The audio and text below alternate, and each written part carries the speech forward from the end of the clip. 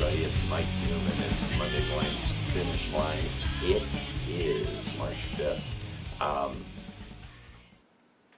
busy weekend in Illinois, but every weekend from here to the end of May is going to be busy. I'm not. It was a good weekend. Um, a lot of things went on throughout the state. Um, a lot of things to talk about. So let's get started talking about it. I'm gonna. I don't want to go off on a tangent here. Go on the tangent superhighway, but uh, maybe I will. Um, let's start with uh, the first meet that I was at this past weekend on Thursday. Um, the uh, North Central Cardinal Classic at uh, North Central College, a great girls high school meet. Um, there were so many great races uh, at NCC last Thursday. Um, one of them watched the um, last lap of the uh, 16, not the 1600 meter run, the 800 meter run with uh, Caitlin Hart and Claire Hill. 142-1.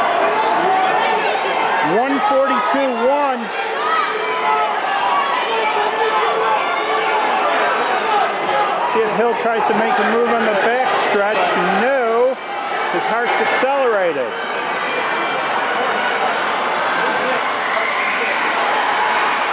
Oh, this is going to be a close one. It's Hart. It's Hill. And it's going to be Hart. 213.9 with a 30 closer.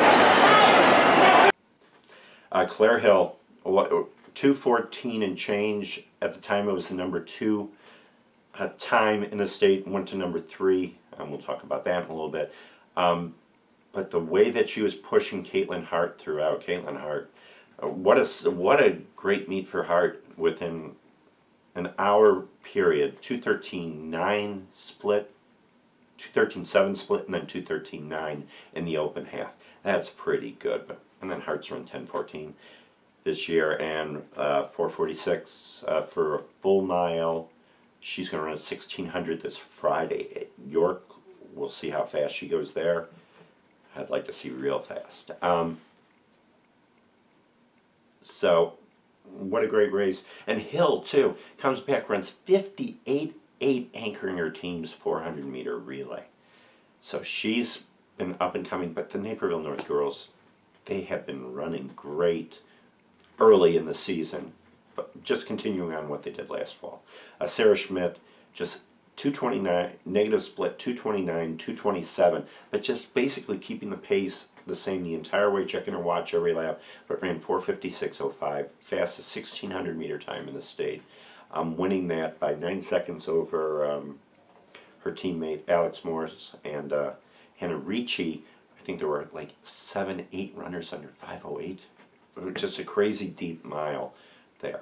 Um, and there are more videos. You can check out all the races of that meet. Um, we have that linked on ilxctf.com, courtesy of um, Runner Space Plus. Um, York on Friday. There were some great finishes in the distance races, but let's go to the um, finals of the 55 meter dash. Rusta gets off to a great start.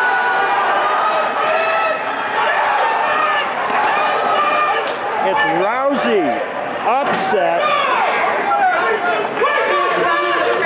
6-3 hand time. One, all 800 meter runners should be kind of surprised that there was a hush in the crowd when uh, Cedric Rousey crossed the finish line in 6.54 ahead of Declan Rusty, who was 6.60, 6.61. Rust, uh, this was the same way. Rusty, you know, there were people that were getting their scalp, Rusty's scalp a little bit earlier last season indoor track. Rusty is a great 100 meter runner. I wouldn't say a great 60 meter runner. Very, very, very, very, very good.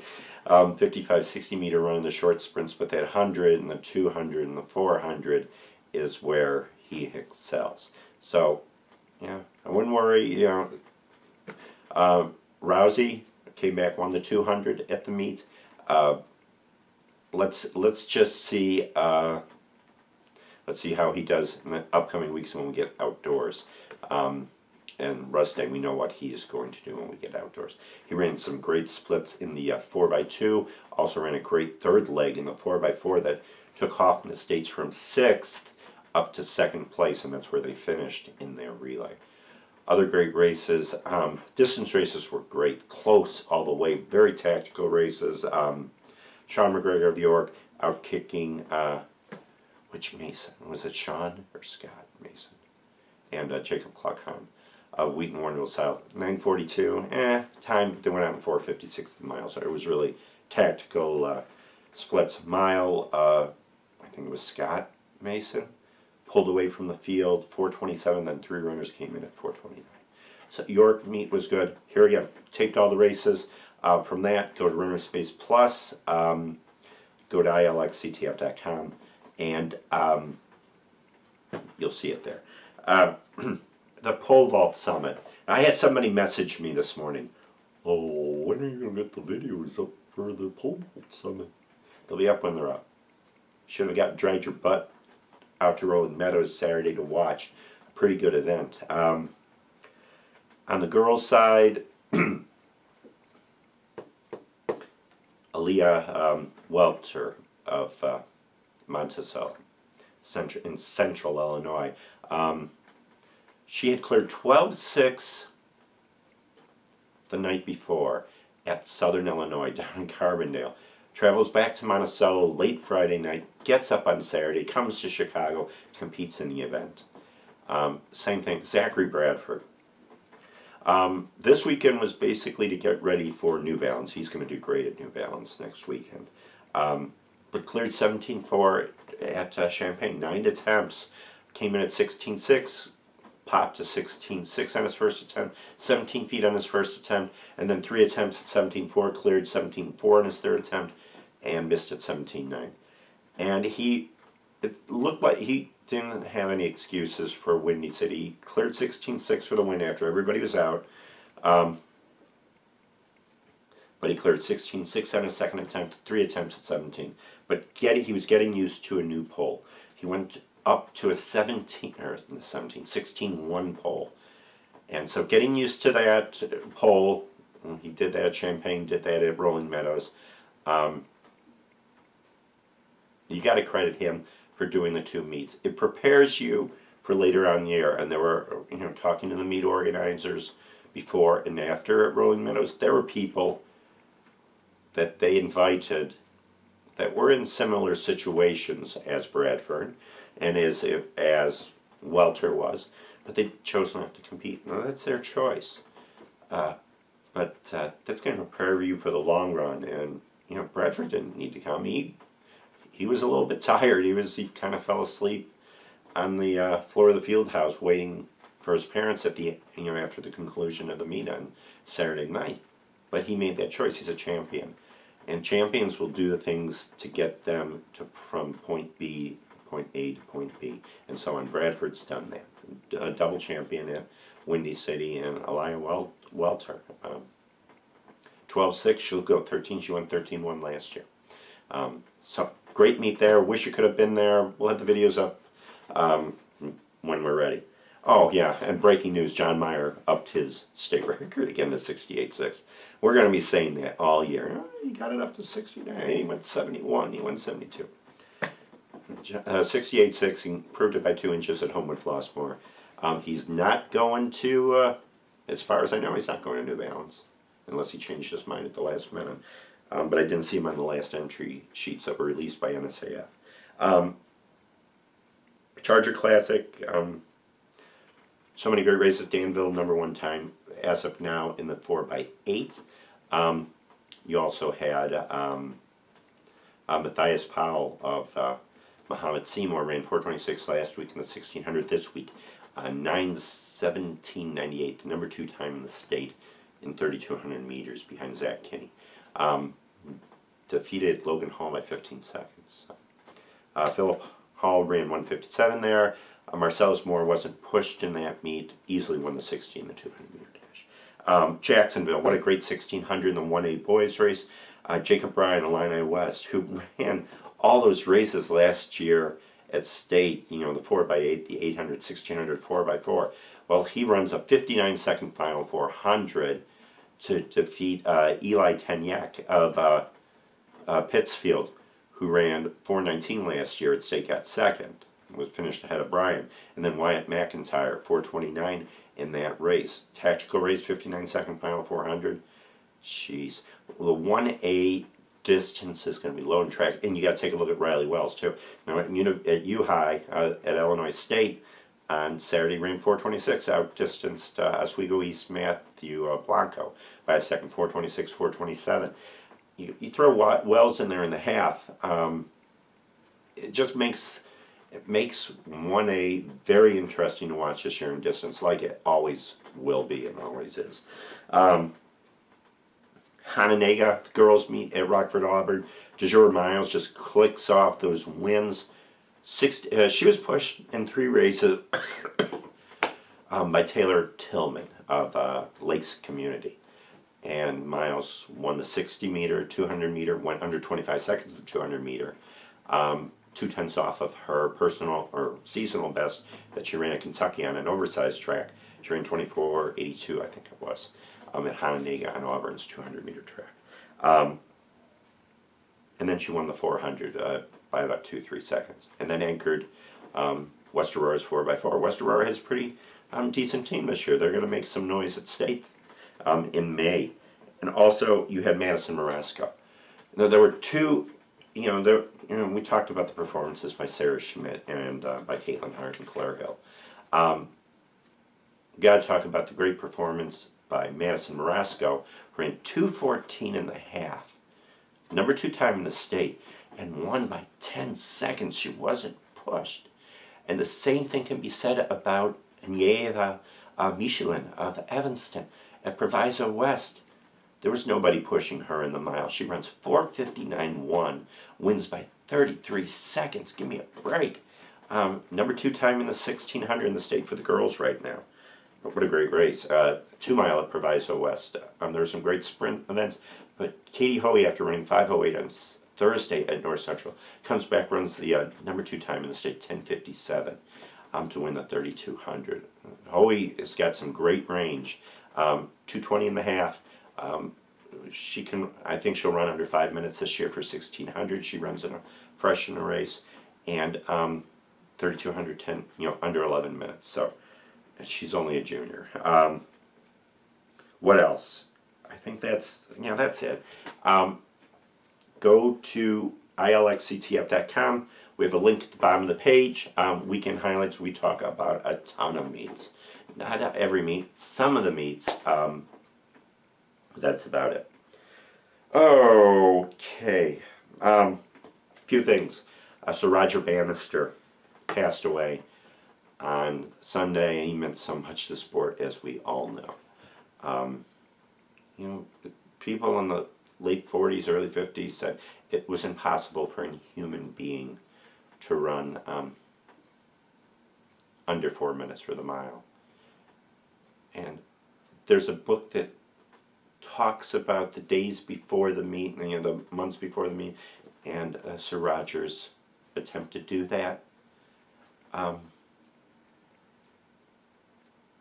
and he did that. He, you know, there are some things that you set in your mind that you can't. You know, if you think, if you say, "I can't do this," you're not going to do it. Um, Mr. Newton always said, you know, you could be physically fit, or said that, but it's a two percent.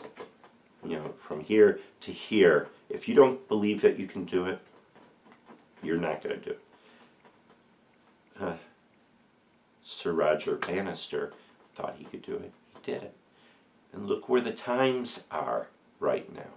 You know, the world record is 343 by Hicham El Guerrouj. Um, just think about it. Just think about it. What can you? What could you do? You know, keeping that positive energy, thinking, you know what, I can do this. I'm gonna get straight A's in school this year. I'm gonna ace this final in this class. I'm gonna do some great things in my community. I don't, I don't think I can do anything in the community. I can't help it. Positive thinking. If you think you can do it, you can do it. And then we got, if we're talking about all this positive thinking and all the things that Bannister did on the track and off the track, he was a doctor. He served so many people. And, you know, it's not what you do on the track; it's what you do off the track. Um, I don't know if I want to talk about the sectional assignments. Holy smokes! You get Plainfield Central, who's five miles from a sectional hosted by Plainfield North on the girls' side, and they're going all the way to Rock Island. Are you kidding me? I'm trying to think of that reason. Well, we're, we put the boys in this one block. We'll put the girls in one block. Who's going to host? Oh, Rock Island is. So, I mean, there were, there was some, you know, like Rock Island and Moline have to travel to Plainfield South on the boys' side. That's another issue. But then getting Washington and Peoria, who could have gone down to, could have gone to um, Belleville West, which is the same distance, or they could have sent them to another goofy place. Um, but they they hopped over some schools that are going to Homewood Flossmoor, and they're going to be at Plainfield South. I don't know. I don't know. Write the IHSA. I on this one. I tried not to figure it out. Um, let's just leave it at that. A lot of things coming up this weekend. Uh, tonight, get out to the North Central. Um, Mustang Relays. Uh, should be great meet. Um, girls 800, I'm looking forward to seeing. Uh, Hinsdale Central had three runners under 220 um, on Thursday in the open half at North Central. Let's see what they do this weekend. They're gonna, they're going to be the team. They may break that 922 uh, meet record. We'll just have to wait and see. Um, other things, New Balance Nationals this weekend. Marcellus Moore is going out there. Some other Illinois athletes, Zach Bradford, one of the favorites in the pole vault. Um, uh, Welter from Monticello is going to Eastern Illinois. There's another good girls meet. You have the Gauntlet Mile and some great running um, this weekend at Plainfield North at their boys invitational. Great meet. Check that out. Uh, Plainfield South has another um, boys invitational. Uh, York Girls Invitational on Friday nights. Um, Caitlin Hart um, running a 1600. That should be fun to watch. Batavia Distance Madness should be fantastic on Friday night. Good 3,200 meters. Uh, Sarah Schmidt of Naperville North. Abby Lopez, who has the fastest time so far in the 3,200. Let's see what kind of times they run. 1040s, 1030s. That would be interesting to watch. And then I think uh, Rachel Hickey, LaSalle Peru in the 800. Boys side, Riley Wells in the 800. Um, uh, Charles Harders of Lyons Township in the 800. Um, there's going to be some great races, so check it out at Batavia this weekend on Friday night. Uh, boy, so many other meets. Also, um, coaches, uh, athletes, tell your coaches, get your um, charts in for sub 5, sub 6. We'll be putting those out towards the end of the week. I'll send you a reminder in the email. It's been kind of busy. So, a lot of things going on. Another big weekend coming up in the state of Illinois. Is it going to be hashtag big weekend too? So, rest up.